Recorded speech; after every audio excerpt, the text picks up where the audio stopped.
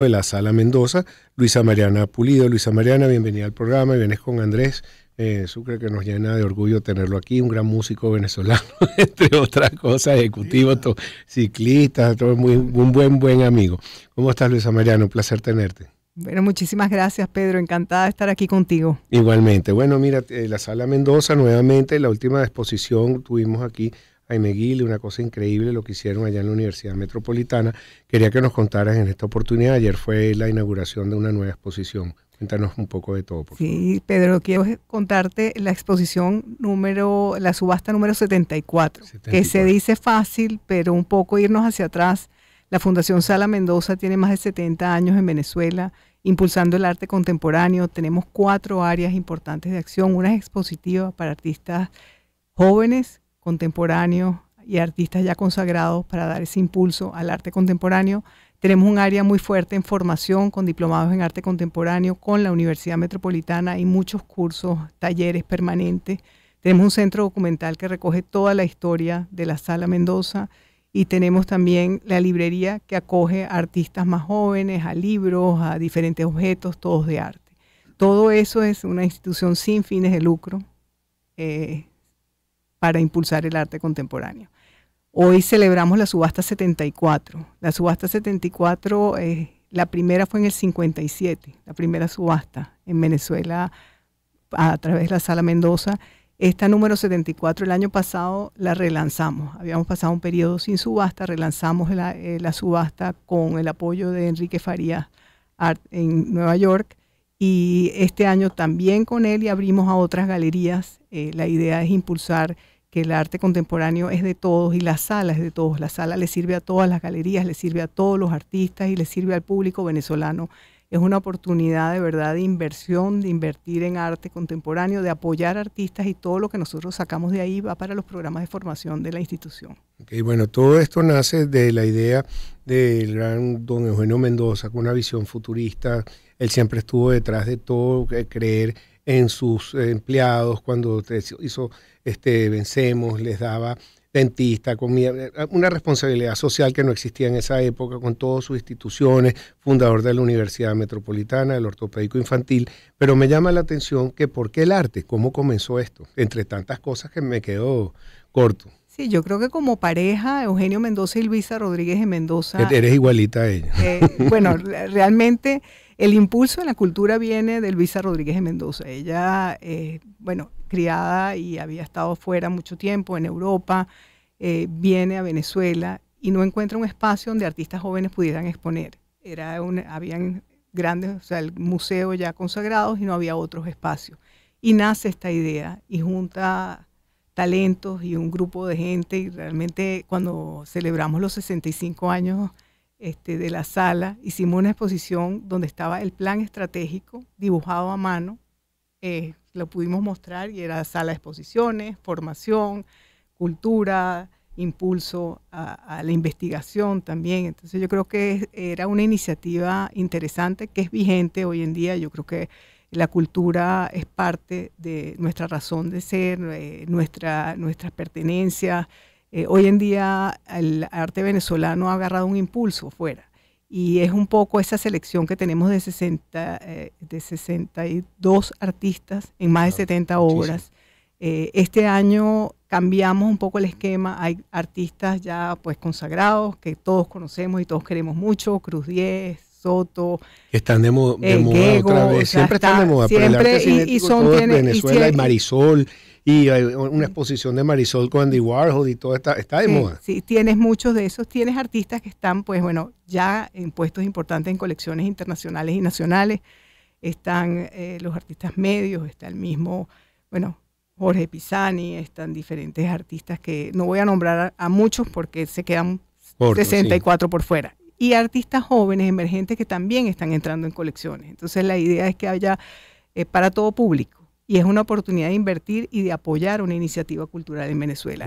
Está abierta la exposición a partir de ayer que abrimos la exposición en la Universidad Metropolitana y va a estar hasta el 29 de junio.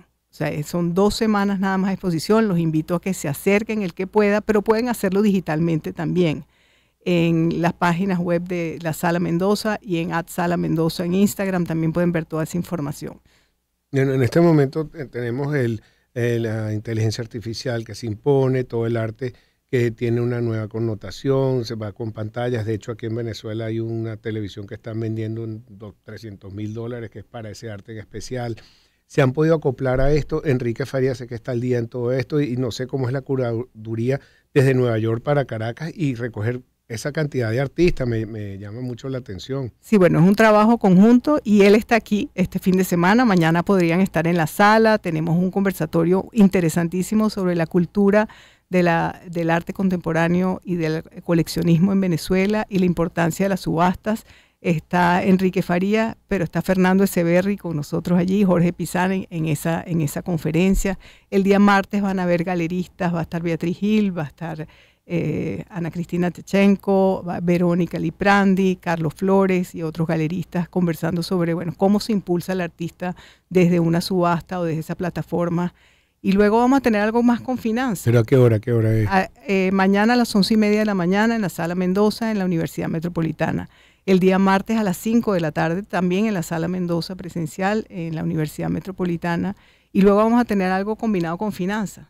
Tenemos al profesor, sí, Vinicio Mora, que es el, coordinador de posgrado de la Universidad Metropolitana en las maestrías de finanzas, y vamos a, hablar sobre el mercado fraccionado del arte. Increíble. O sea, a las 5 de la tarde. Mira, y el espacio que tenían ahí en el ortopédico infantil, creo que en la avenida, eso todavía lo tienen, porque era un espacio interesantísimo. Sí, la, Sala Mendoza se mudó a la Universidad Metropolitana. Yo creo que también como, Gracias por la aclaratoria. como tendencia importante de estar en un espacio universitario donde se junta la cultura con la educación, con, la juventud, el, con el espacio y la verdad que eh, es, un, es un espacio único, abierto, gratis, no tienes que pagar para entrar, cualquiera puede ir a ver. Hay, bueno, el precio base siempre es más bajo que el que consigues en, en, el mercado y entonces, bueno, es esa, es esa puja de cómo hacerlo. Esta puja, y, gracias a que lo nombras, eh, antes era Clementina, tu prima, que llevaba la puja en vivo de cómo se hacían las subastas antes. Ahora es eh, digital y ponen un precio y va subiendo hasta que llega una fecha, un día, y si nadie pujó más, eh, es más larga la, la, sí, ha evolucionado. Estamos evolucionando como están en las principales casas de subastas. El, presencial siempre es emocionante y tienes un, un solo día para ver la, obra y tomar la decisión y que te digan, bueno, esa obra es suya, como decía Jorge Delano, se lleva su obra.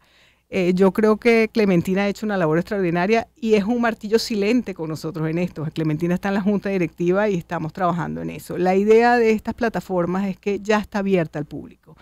Se puede meter cualquiera, tiene oportunidad de mirar todas las obras, de ver en qué precio está, puede hacer una oferta, si está baja y es la que le gusta, pues, y no hay más nadie que después se meta, le queda el día que cierra la subasta. Cierra el 29, por eso los animo a que se metan, busquen, vean la obra que más les gusta. Página, página página Galabit, pero se metan en Ad Sala Mendoza y ahí mismo está el link, se lo apretan y es muy sencillo de, meterse hoy en día. Ad Sala Mendoza. Sí, Ad Sala Mendoza y allí o en las mismas páginas eh, es una plataforma internacional de subasta, se llama Galabit. Internacional, además pueden comprar en todas partes del mundo, venezolanos que están afuera, nuestros hijos que pueden comprar para sus casas que están afuera.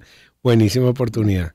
Sí, yo creo que es una oportunidad para todos y sobre todo que lo que quiero que quede, quede en, la mente de todos nosotros es que queremos impulsar el arte venezolano y somos nosotros los que tenemos que apoyar a nuestros artistas para que vayan saliendo, vayan entrando a colecciones importantes y todo lo que se genera de esto va a la formación de artistas. Excelente. Bueno, Luisa Mariana, un placer tenerte aquí. Gracias por visitarnos. Siempre estas puertas y estos micrófonos están abiertas para ti, para la Fundación Mendoza y todo lo que hacen. Eso Quiero que lo sepa. Muchísimas gracias. Muchísimas gracias a ti. Gracias. Era Luisa Mariana Pulido. Una oportunidad para empezar. 2020.